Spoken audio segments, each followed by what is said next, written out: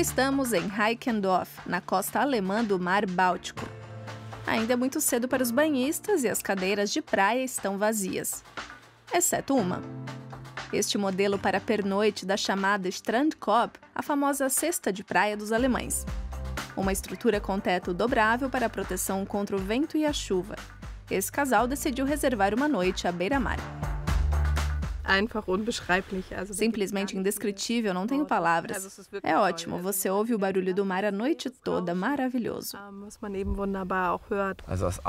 O extraordinário é que você realmente está em um espaço bem pequeno e pode ouvir o barulho do mar a noite toda. Ou um navio passando. Dann hat man natürlich auch ab und zu ein Schiff oder ähnliches gehört. O casal chegou na tarde anterior para pernoitar na cadeira de praia especial.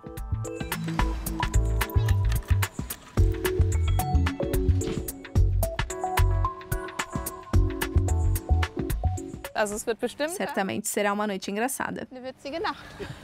Com certeza aconchegante. A Strandkorb para pernoite tem 1,30m de largura. E os hóspedes têm que trazer a própria roupa de cama.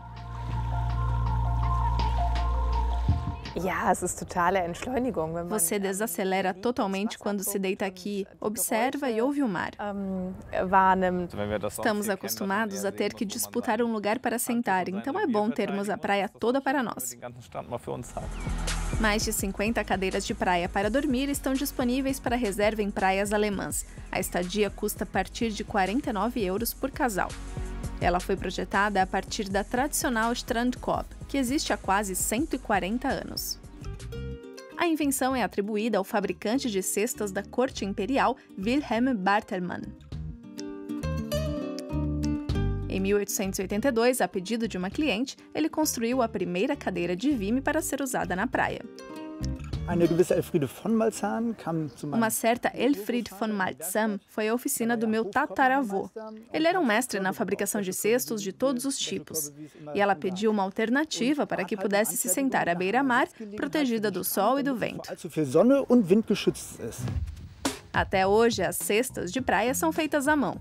Há cerca de 100 mil delas espalhadas pelas costas do Mar do Norte e Báltico, e são algo bem típico alemão. Nas praias de outros países, parece que as grandes cestas para sentar não encontraram muito espaço. E olha que a chanceler federal alemã Angela Merkel até levou chefes de Estado para testá-las em um resort no Mar Báltico durante a cúpula do G8 em 2007. Mas a cadeira de praia para dormir parece ter conquistado os turistas e a demanda é cada vez maior. Gostamos de ficar na praia, mas normalmente não é permitido passar a noite aqui. E agora, com a cadeira especial para pernoite, temos permissão oficial para dormir na praia. Uma experiência, no mínimo, interessante para desfrutar do pôr do sol à beira-mar, na Alemanha.